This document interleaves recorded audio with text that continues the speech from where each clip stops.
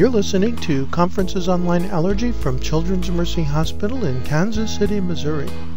Today is August 14, 2020, and I'm your host, Dr. Jay Portnoy. Our topic today bias and racism. Our presenter is Dr. Bridgette Jones.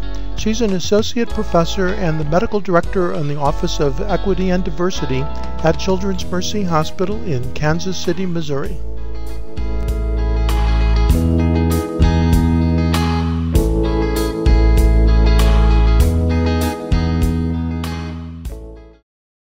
Um, good morning, everyone. This is the second hour of COLA um, for August 14th, 2020. um, this morning, um, I have the pleasure of having um, Dr. Bridgette Jones, um, one of our faculty at Children's Mercy, who is going to talk to us on bias and racism.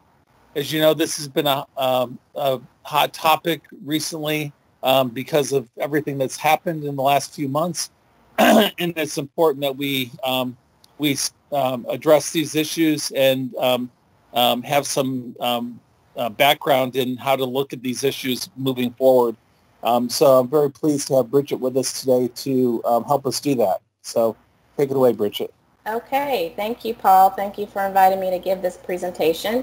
so as Paul said, I'm going to talk about bias and racism um, in regards to how it impacts us individually and within our society, but also um, within medicine. So let me see if I can forward my slide. There we go. So um, yesterday I sent out to the section um, the implicit association test if you wanted to take that beforehand. Um, we may have time to take it during this presentation. We'll just kind of have to see how things go. Um, but my intent is that if you can take it and then I'd like us to have a little bit of discussion about um, your results. You don't have to tell us your results, but we'll just kind of discuss um, the results in general. Um, but just to start out, um, the, the presentation today, um, I always kind of preface it with, you know, when we're talking about topics like racism, and implicit and explicit bias, sometimes it can get uncomfortable, but I think you know, getting uncomfortable is going to be the only thing that's going to allow us to progress. If we're comfortable in the state that we're in, we're not going to be pushed to change. So I don't know how many of you um, have done Orange Theory or heard of Orange Theory. Um, pre-COVID, I used to go to Orange Theory about five days a week, and um, it's a small group exercise program. Um, and the purpose of, of when you're there you are supposed to push your heart rate up to a um, to a um, a maximal level. Um, you're supposed to push your heart rate up to a, a, a, level that makes you uncomfortable for at least 12 minutes during your workout. And so the, the idea is once you get your heart rate into that level for a certain period of time, the next time you can run a little, little farther, you can lift a few more weights, um, and I think about when we when we're talking about racism and bias, um, the the uncomfortableness that we feel is really pushing our minds to think outside of how we normally think. So today, you know, take a deep breath. Um, you're going to be uncomfortable. I'm uncomfortable sometimes when I'm talking about these topics, or actually uh, many times when I'm talking about these topics, as they're not always pleasant to talk about. But these are the things that's going to help us to learn and to grow.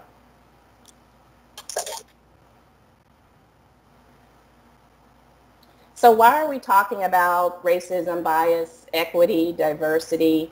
Um, well, you know, these, these topics um, and these ideas are now part of industry standards.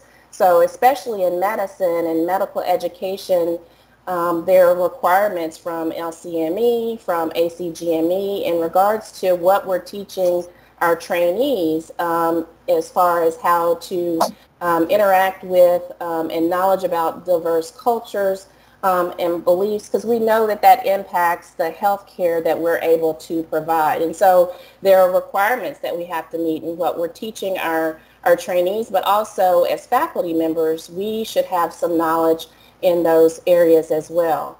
Um, it's part of standards for our hospital um, in that we're providing quality and equitable care so diversity, inclusion, and, and um, discussing and addressing racism and how it impacts health and how it impacts the care that we're able to provide um, is now standard practice um, in what we should be doing. And that's really evident in the American Academy of Pediatrics policy statement on racism that came out um, actually a year ago. So it was published in August of 2019. Um, so this policy statement was put together by a task force on um, discrimination and bias um, by AAP. Um, and the statement is really a, a, landmark statement, I would call it, because it um, is one of the first times there's been a very strong dec- declaration that racism is a social determinant of health. So racism is something that impacts the health of children.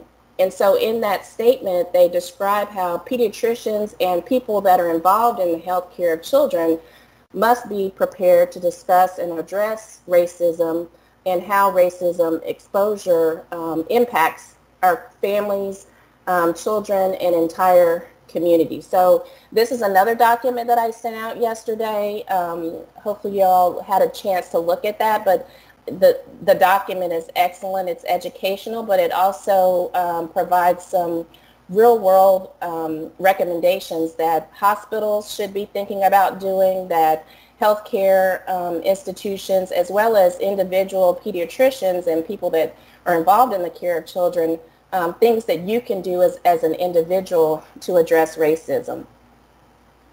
And please feel free to stop me um, if you have any questions.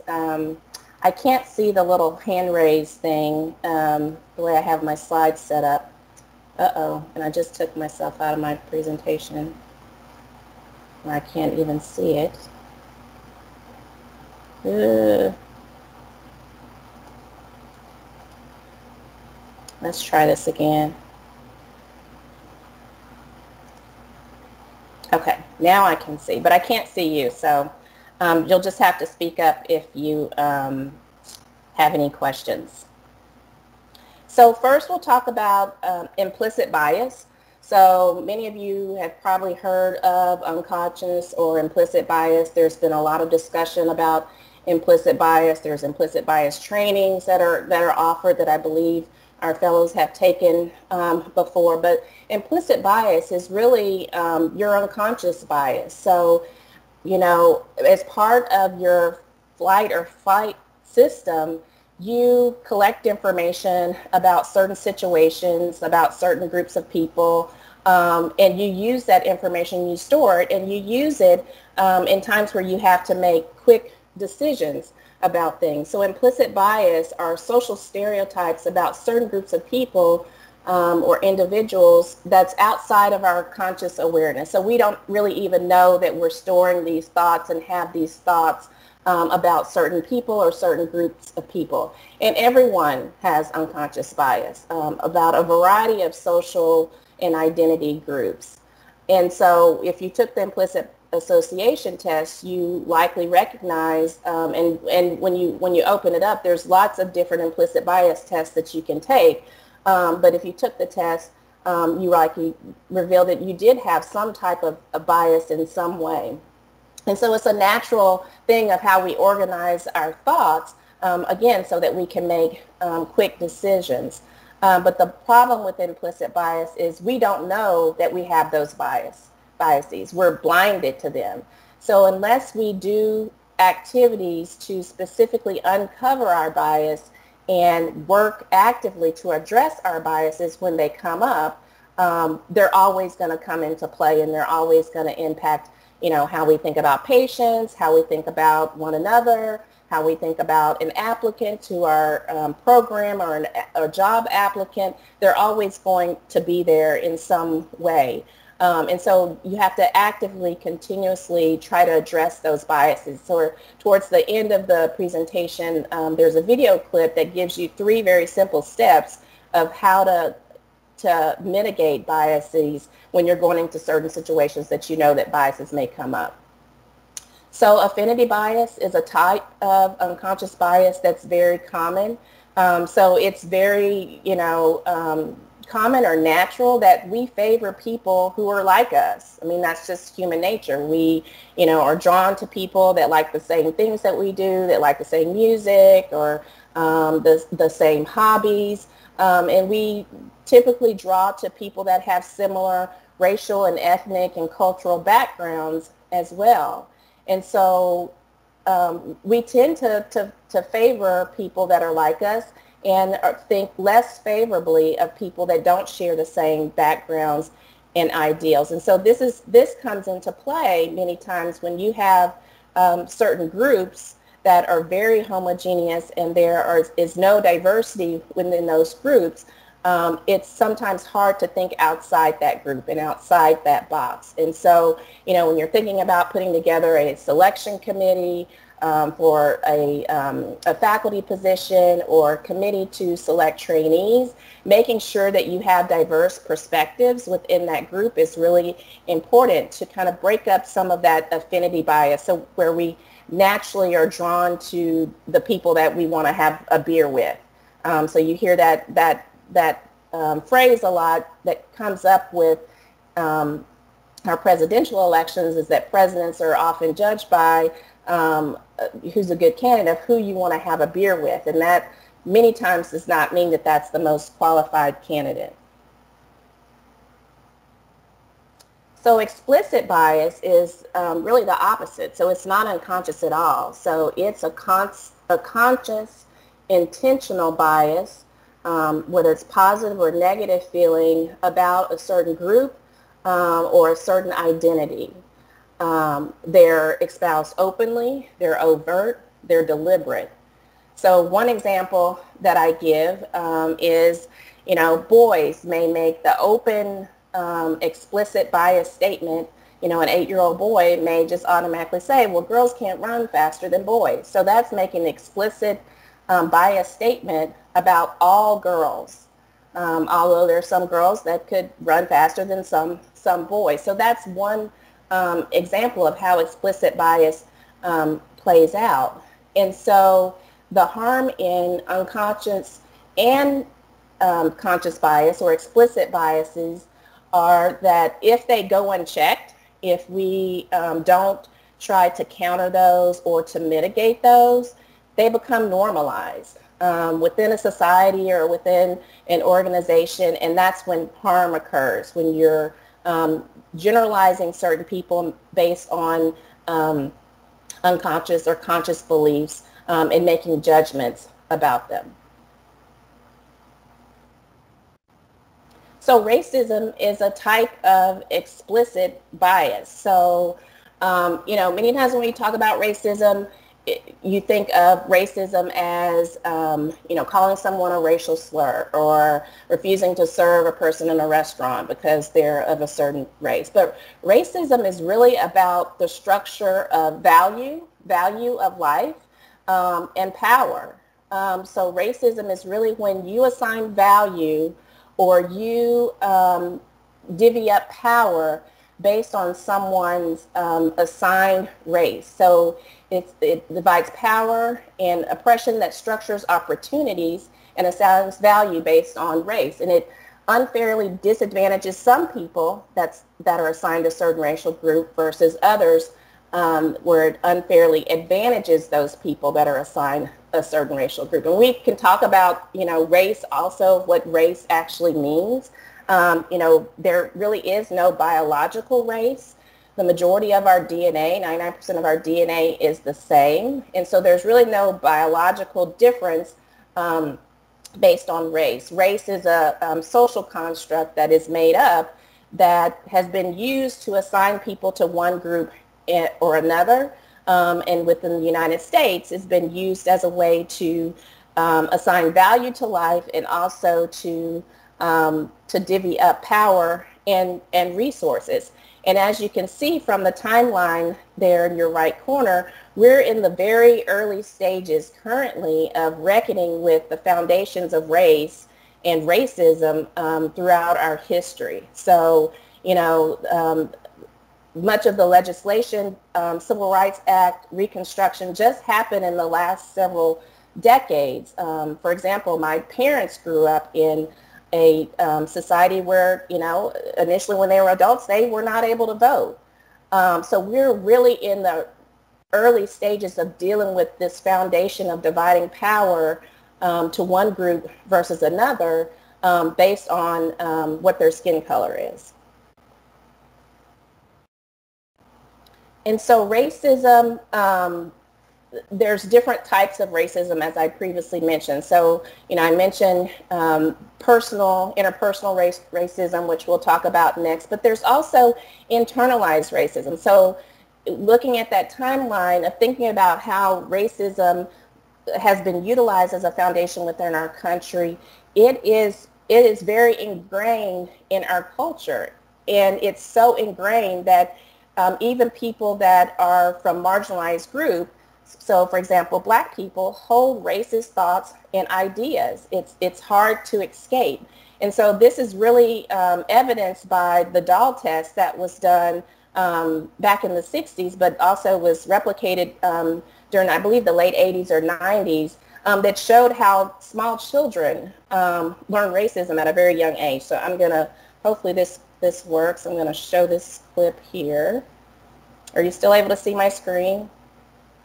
Um, so maybe I will send these the links out for you to watch them later because I do think um, you know they are um, really powerful um, videos that basically show that you know at a very young age um, children um, African American children are taught racist or learn racist ideas and thoughts about themselves um, and so to think about as adults how we, you know, may think that we don't hold racist thoughts or ideas, but when you see that children hold them at such a very young age, um, it's clear that, that, you know, we have them too. So are you able to see my slides now? Are you seeing those? Yes, we okay. can see those. Okay. All right. So interpersonal racism um, is, um, you know, like I mentioned before, so that's person-to-person racism. So, you know, that's kind of what you typically think about where there's racial slurs or hate crimes um, or microaggressions. Um, does anyone know what a microaggression is? So microaggressions are um, aggressions that happen frequently um, that may seem subtle, that are things like, you know, commenting on um, how well a person speaks um, if they're of a certain racial or ethnic group. Or it may be things like, um, you know, if, if you're introducing a group of professionals and you call everyone in the group by their professional title, but the woman or the person of color you refer to as their, their first name. So those are microaggressions and they happen frequently and they may seem subtle, but they have a really significant impact. And can everyone, can someone mute? There's a lot of movement in the background from someone. Okay. Um, so this is um, a, a, caveat that was published by an article written by medical students um, that talked about, that describes um, some types of bias that we see in the, in the medical um, environment. So um, they say homeless people are only looking for a handout and not interested in bettering themselves. The circumstances of why someone ends up homeless or uninsured have an endless range. Oftentimes it involves quite a bad hand dealt and a tragic story. However, the easier thing to do rather than wrestle with any of the sobering details with the patients is to chalk up their predicament as they brought it on themselves, they deserve to be homeless, Working through my month in the emergency room, there were certain patients that were considered frequent flyers, and that reputation certainly had a negative connotation. Physicians viewed these patients as a nuisance who just wanted a roof over their head for the night and worst of all, weren't even willing to pay money. The flippant attitude towards the indigent and uninsured community may create an atmosphere where only a surface level of medical treatment is given those to those who have deep and chronic um, uh, let's see, I lost the slide again. But, um, you know, I think that really highlights, um, that really highlights how sometimes our implicit and our explicit biases play out um, in the medical field. So, you know, you could exchange this caveat or this scenario from a homeless person to sometimes some of the language that we use um, when some of our sickle cell patients come into the emergency room. Um, where they're often perceived as drug seeking or malingering um, about their pain. And so how can we counter those thoughts when they occur? So institutional bias, um, it occurs, um, you know, as it states within in institutions, and it's when it, it institutional bias or racism occurs from a practice or a policy standpoint. So when you have policies or practices in place that um, divvy up or divide power or opportunities or value based on a per- per- person's racial group. So it's regardless of socioeconomic status, it's regardless of social standing, it's solely based on their, their racial um, on their racial group. And so when we start getting into institutional bias or systemic um, racism, this is when you have large impacts on communities and, and really our, our entire community um, as a whole. So one example of institutional racism um, is you know, how we treat certain immigrants that come to this country. Um, so there are some immigrants that are that come to the, this country that um, you know have very significant hardships with with trying to immigrate, even when fleeing for, from very dangerous um, environments. And other immigrants, um, we we they follow a different policy and procedure um, avenue um, to become citizens or become um, immigrants here. So that's how an institutional, from a policy level, how you divide up value of life and um, power and opportunity um, really solely based on race. And then so structural racism um, involves when you put all of those institutions together that um, have policies that assign value and opportunity and power by race, then that leads to structural um, significant impacts that become historically rooted um, within certain communities and certain um, groups. So you have, um, you know, if you put together inequitable schooling, inequitable access to health care, inequitable um, law enforcement practices, um, and those are experienced widely by a large group of people based on their race, then that has long-standing impacts for centuries. Um, and so those are things that cannot, a person cannot um, overcome just by, you know, having more money or having a better education. Um, they may, because of those privileges, they may not experience some of the, the, the impacts of racism as severely, but they still are certainly impacted by it. And so this is a great example of how um, structural racism works and um, one that's close to home here in Kansas City. So does anyone know what this map here is on the right-hand side? That is redlining. Yes. So um, do you like to explain what redlining is or do you want me to explain?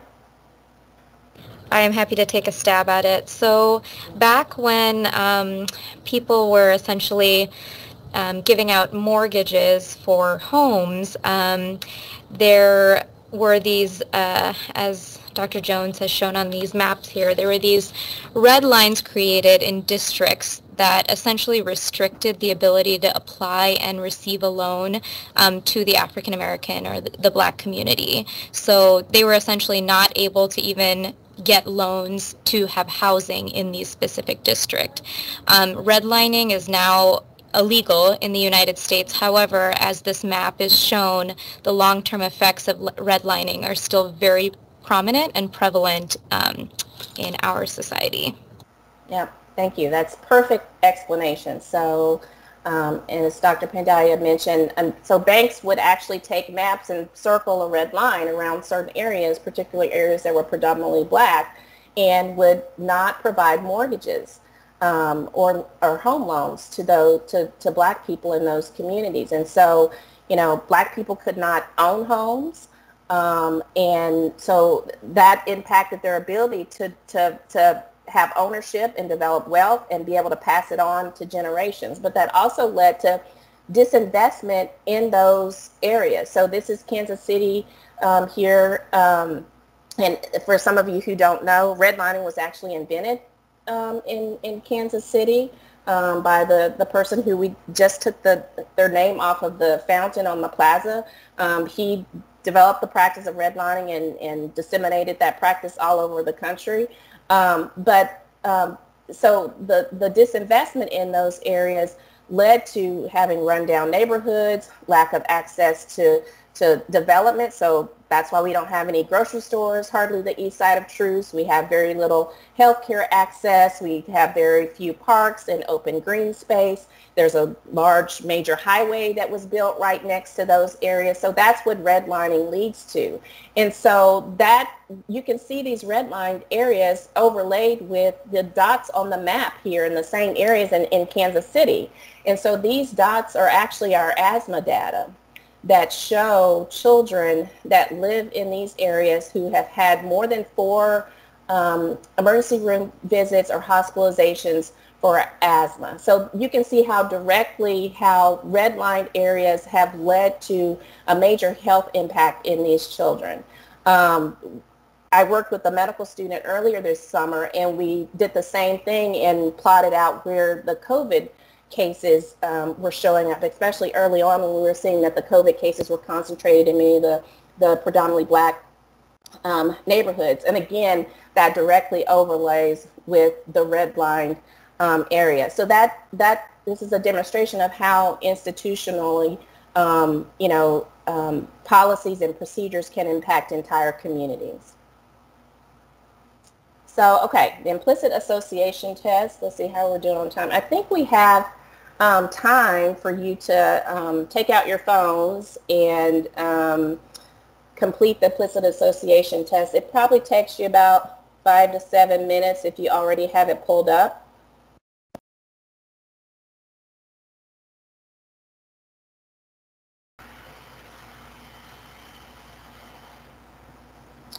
Okay, I think we'll move on. Um, was anyone able to finish or um, of you who completed it yesterday. Um, do you have any thoughts or um, just initial thoughts about the test or your results at all that you'd like to share or be willing to share?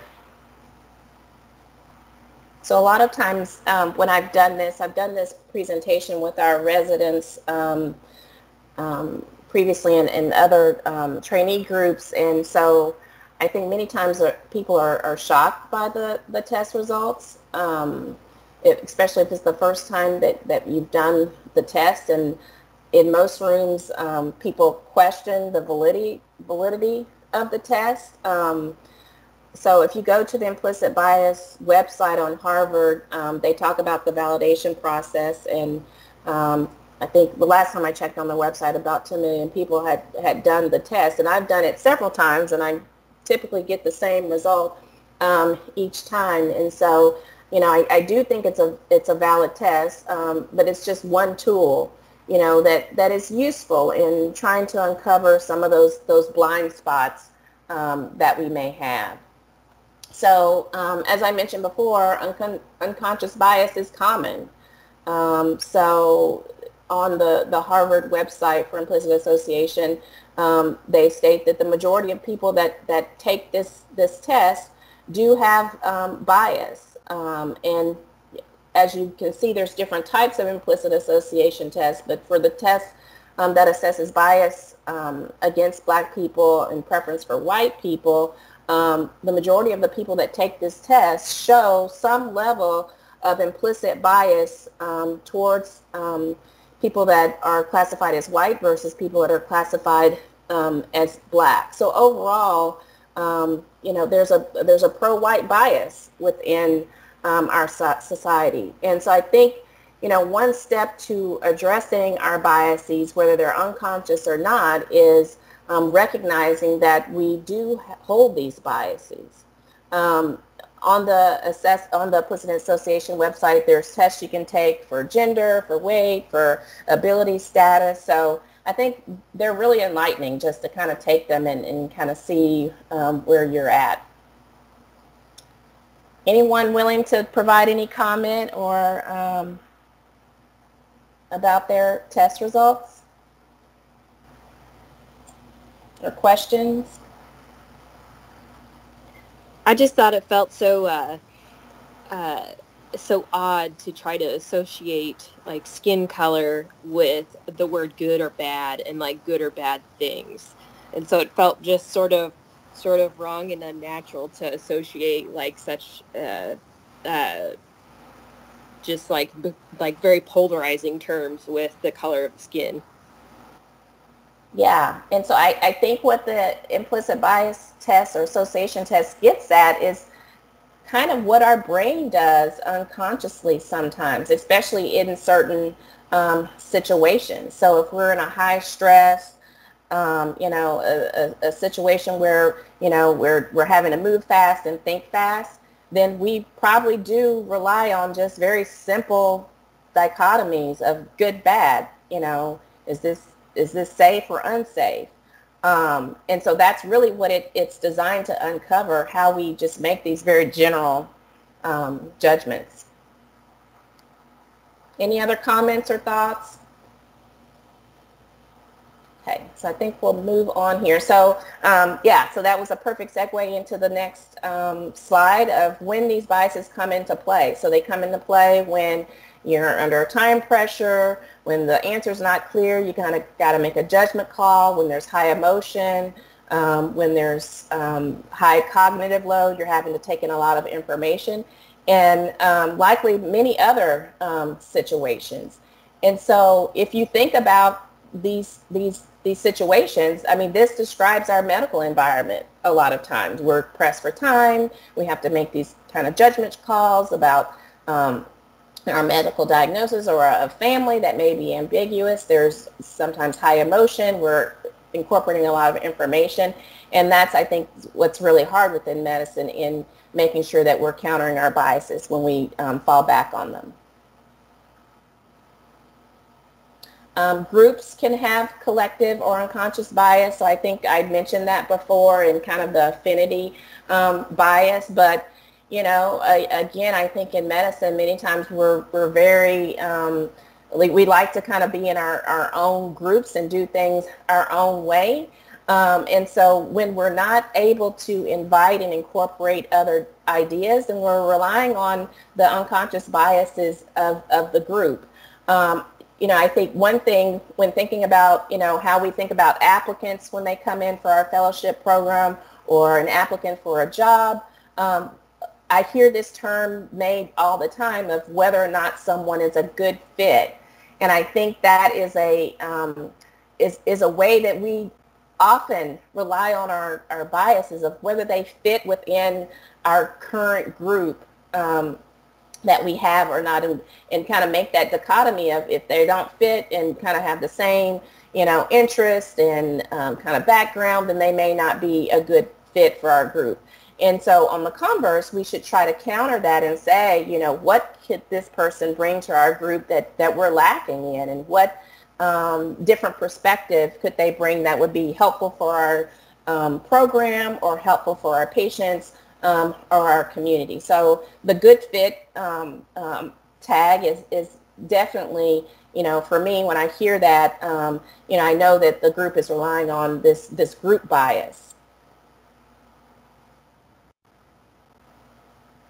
So, you know, as physicians, I think especially as, as pediatricians, um, I admit I'm biased as a pediatrician. I think pediatricians are, are great people and wonderful people. We take care of kids and um, but, you know, we're not immune to bias and how it impacts our um, patient care.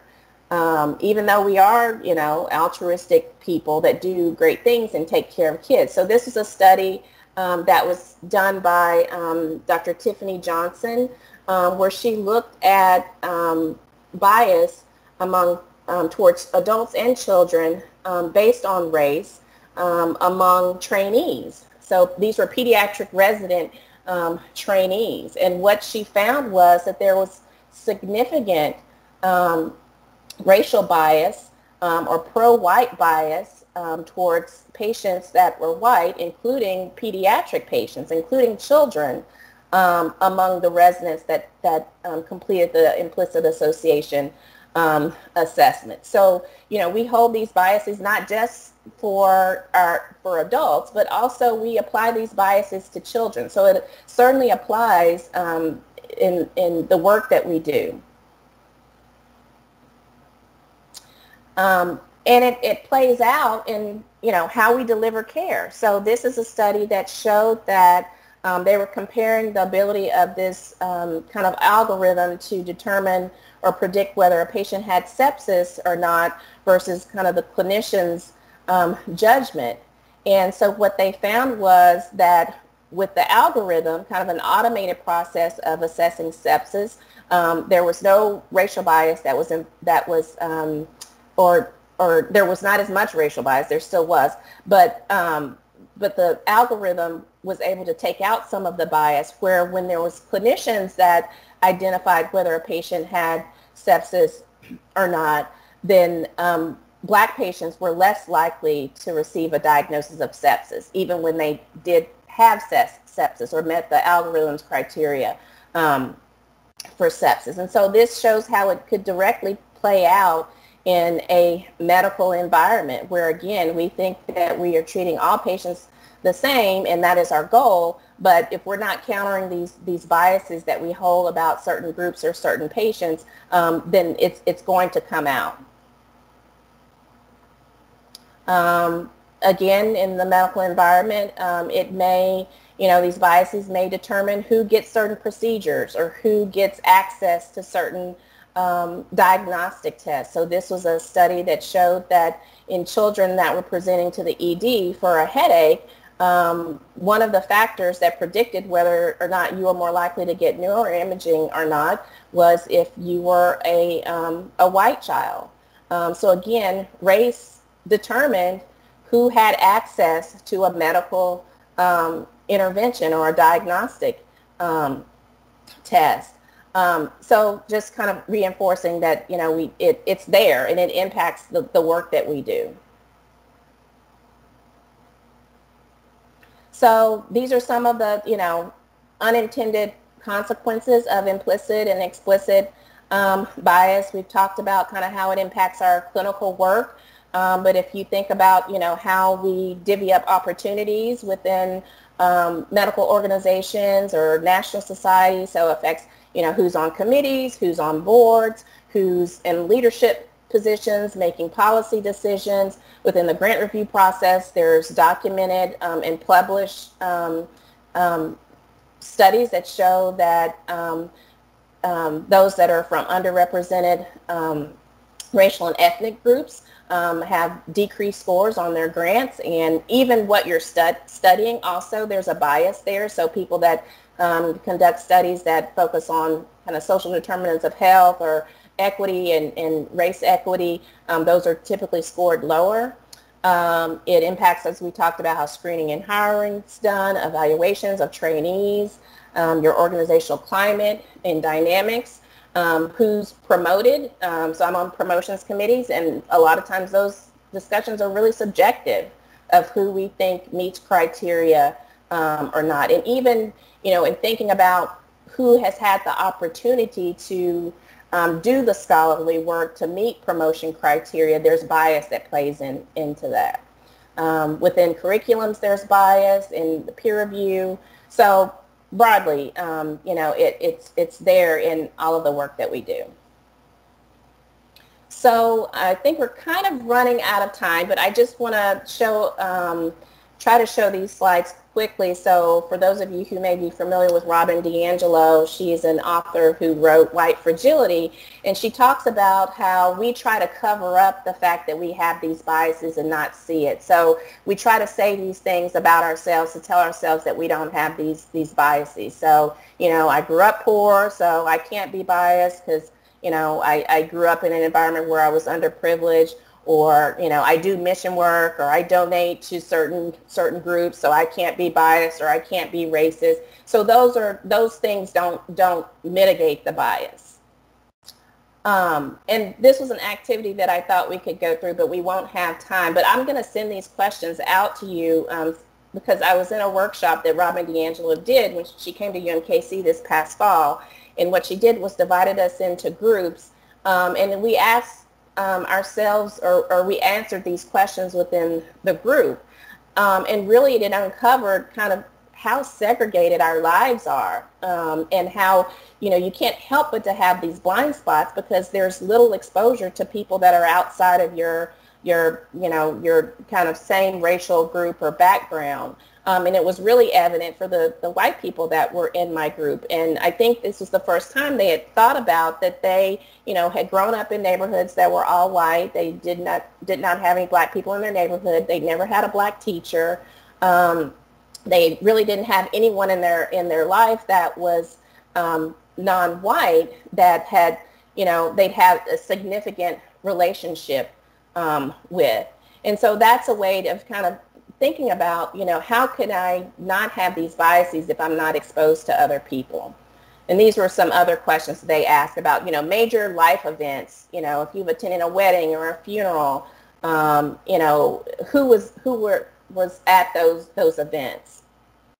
And so um, Ibram Kendi um, is the the best-selling book. Um, it's probably been um, top New York Times seller for the past three months or so at least, um, but even previously was a very popular book, How to Be a Anti-Racist. And he talks about the fact that it's not, it's not just not being a racist because, you know, we talked about how racism is foundational within our culture and it's kind of rained down on our heads all of the time. And we think we have this umbrella because we're good people, but that umbrella has holes in it. Um, and so it's it's not just not being a racist. We have to work to be an anti-racist. And being an anti-racist is not, uh, you know, an adjective that describes someone. It's it's a practice. It's something that we have to work towards and counter um, every day. And this includes all people. Um, you know, because as I mentioned before, even people that are from um, um, racial groups, um, underrepresented ra- racial groups, um, we also have racist ideals and thoughts that we have to counter. And this is part of the reason, you know, um, in our society, there are, are racist stereotypes that are um, rain down on us constantly that we don't even see sometimes. So, you know, from an ad that shows, you know, a black person is being dirty and then once you use the Dove soap, you're white and you're clean um, to how people are presented in the media um, or news reporting. So this this is very interesting. I think this was in Iowa where this is the exact same day. There was a group of men that were arrested for the same thing for burglary charges. And you can see how the black men are presented with their mugshot and the white men are presented as college wrestlers and with their suit and tie. Um, so these are, are, are stereotypes and, um, you know, racist um, divisions that are, are kind of we experience all the time and don't even recognize it. This is from the University of Missouri. Um, this was um, put out a few, um, a, I think it was last year, which is really interesting after they kind of went through a lot of turmoil and um, had a lot of um, anti-racism training, but they put out this ad um, for University of Missouri. And you can see, you know, for um, the African American woman, she's she's you know I'm an African American woman, and that's it. For the the white woman, she's a future doctor, and kind of the same thing from the the athlete. So they it was up for about a day or so, and then they they took this ad down.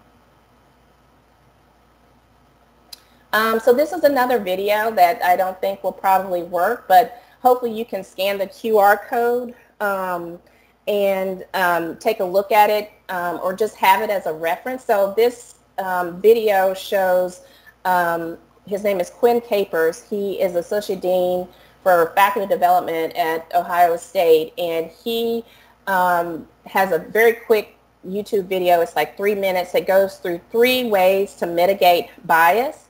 So, you know, finding a common identity with someone is one way to counter bias um, thinking the opposite.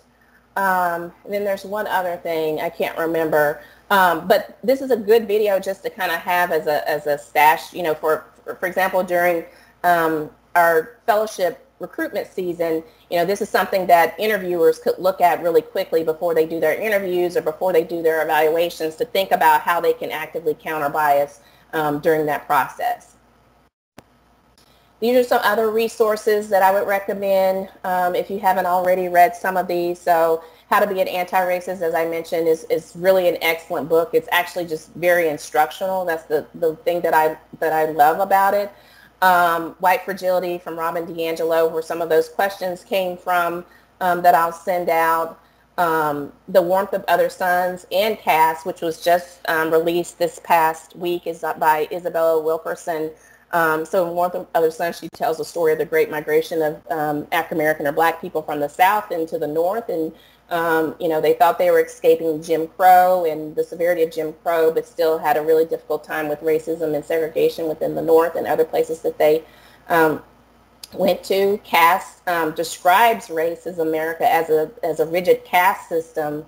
Um, so I just started reading this book, but it's, it's really good so far. Thick is by Tressie McMillan, who's a um, sociologist um, who writes about um, the intersectionality of um, race and gender. So she's an African American woman.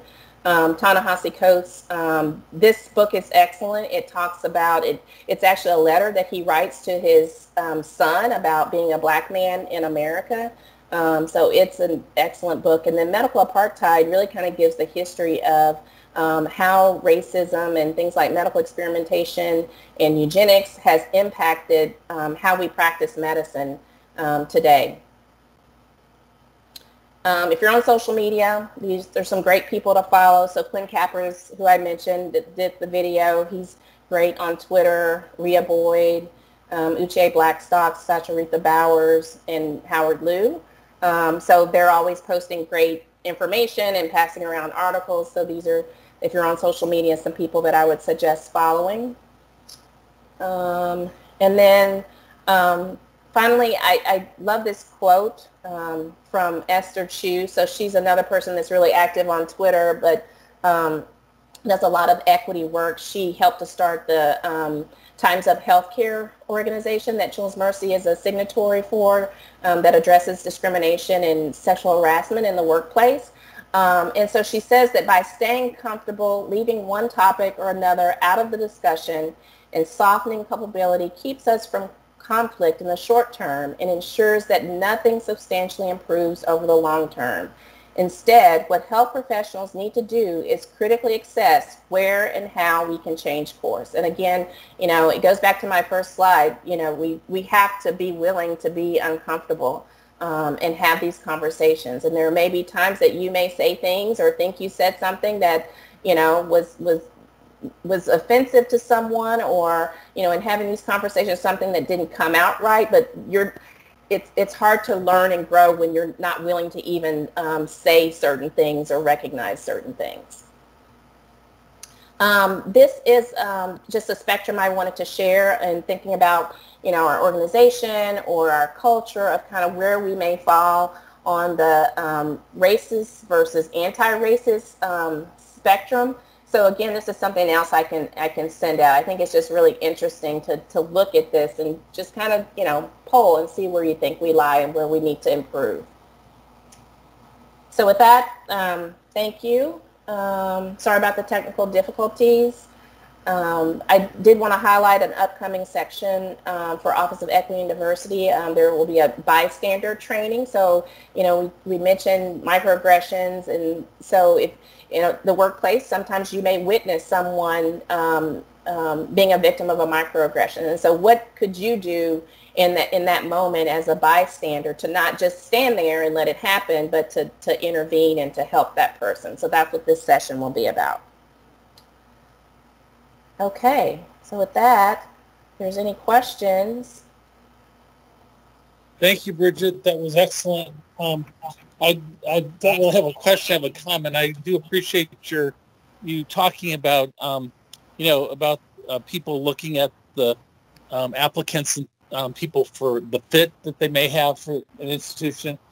And I can see some of that part may be related to, people may say related to like personality types or or like um, research interests or something. But again, when you think about it in the, the whole um, you know, the whole realm of all that, what that means, um, there is, um, you know, um, bias that comes into that. And I think that's something, as you said, when we start doing interviews here in a few weeks, that we need to be looking at, like, what can that person bring to our group and what, mm-hmm. you know, mm-hmm. um, um, things that we could, should be looking at instead. So I appreciate you mentioning that. Yeah, no problem. I mean, that's what we've encouraged within the residency program is, you know, discussing diversity um, within the selection process and thinking about for every applicant, you know, talk about what do they bring to our program that may be unique, um, that would be beneficial for us and um, our patients and our community. So I will send out those the slides to everyone, um, and so you'll have those links. Um, you can access that video if you if you like. Okay, great. Thanks again, Bridgette. Have a great weekend. Okay, bye. Thanks. Thanks, Bridgette. It was great. It's Brenda. All right, Bye. Bye. Thanks, Bridgette. All right.